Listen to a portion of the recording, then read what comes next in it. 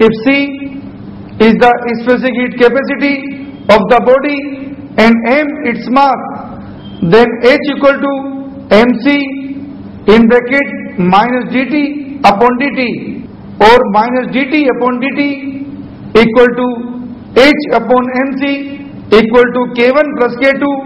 a t minus t0 upon mc or dt upon dt that is rate of cooling equal to now note down the special points. First from equation 3 it is clear that the rate of loss of heat is proportional A. Thus if two bodies of equal surface area one solid and other hollow are kept at same temperature difference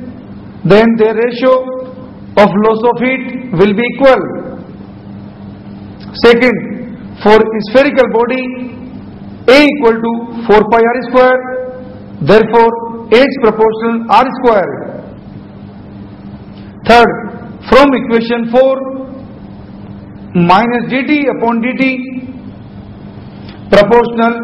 a upon mc multiplied by in bracket t minus t0 thus two bodies of same material and equal surface areas one solid other hollow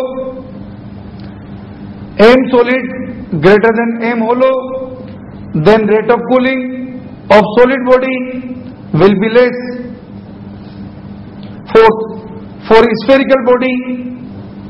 a upon mc equal to 4 pi r square upon 4 upon 3 pi r cube into rho into c proportional 1 upon r. Therefore, rate of cooling of body is inversely proportional to its radius provided other things remains constant.